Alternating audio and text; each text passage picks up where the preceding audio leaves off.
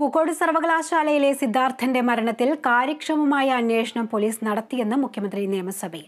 ഇത്തരം ക്രൂരതകൾക്ക് യാതൊരു സംരക്ഷണവും സർക്കാർ നൽകില്ല. കുടുംബത്തിന്റെ ആവശ്യത്തിനൊപ്പം സർക്കാർ നിന്നുവെന്നും പിണറായി വിജയൻ വ്യക്തമാക്കി. പൂക്കോട് വെറ്റിനറി സർവകലാശാലയിലെ രണ്ടാം വർഷ വിദ്യാർത്ഥി സിദ്ധാർത്ഥന്റെ മരണം അത്യന്തം ദൗർഭാഗ്യകരമായ സംഭവമെന്ന് മുഖ്യമന്ത്രി നിയമസഭയിൽ പറഞ്ഞു. റാഗിങ്ങിനെ തുടർന്നുണ്ടായ മരണത്തിൽ ശക്തമായ നടപടിയാണ് പോലീസ് സ്വീകരിച്ചത്. കുടുംബം സി ബി ഐ അന്വേഷണം ആവശ്യപ്പെട്ട അന്ന് തന്നെ വിജ്ഞാപനമിറക്കിയെന്നും മുഖ്യമന്ത്രി. പൂക്കോട് വെറ്ററിനറി സർവകലാശാല വിദ്യാർത്ഥി സിദ്ധാർത്ഥന്റെ മരണം അത്യധികം ദൗർഭാഗ്യകരമായ സംഭവമാണ്. കേസിൽ പ്രോഹിബിഷൻ ഓഫ് റാഗിംഗ് ആക്ട് മൂന്ന് നാല് എന്നീ വകുപ്പുകൾ ചേർത്ത് കേസ് അന്വേഷണം വിപുലപ്പെടുത്തി. ഒളിവിൽ പോയവർ ഉൾപ്പെടെ ആരോപണ വിധേയരായ ഇരുപത് വിദ്യാർത്ഥികളെയും അറസ്റ്റ് ചെയ്ത് ശക്തമായ നിയമ നടപടികളാണ് പോലീസ് സ്വീകരിച്ചത്.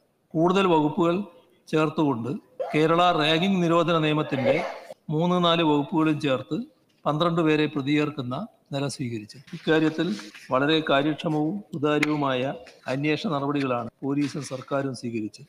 പ്രതികളെ സംരക്ഷിക്കാൻ സി ബി ഐ അന്വേഷണത്തിനുള്ള നടപടി സർക്കാർ വൈകിപ്പിച്ചെന്ന ആരോപണം മുഖ്യമന്ത്രി തള്ളി. എന്നാൽ നടപടിക്രമം പൂർത്തിയാക്കാൻ ജാഗ്രതക്കുറവ് കാട്ടിയ ആഭ്യന്തര വകുപ്പിലെ മൂന്ന് ഉദ്യോഗസ്ഥരെ സസ്പെൻഡ് ചെയ്തു. റാഗിങ്ങിനും തുടർന്നുണ്ടായ ക്രൂരതകൾക്കും യാതൊരു സംരക്ഷണവും സർക്കാർ നൽകില്ലെന്നും മുഖ്യമന്ത്രി. ഇത്തരം ക്രൂരത ഇവിടെ നടന്നാലും ആരുടെ ഭാഗത്തുണ്ടായാലും അതിന് ഒരു തരത്തിലുള്ള സംരക്ഷണവും അതിന് നേതൃത്വം കൊടുത്തവരെ സംരക്ഷിക്കുന്ന നിലപാട് സർക്കാരിന്റെ ഭാഗത്തു നിന്നോ ബന്ധപ്പെട്ട വകുപ്പുകളുടെ ഭാഗത്തു നിന്നോ ഉണ്ടാകില്ല.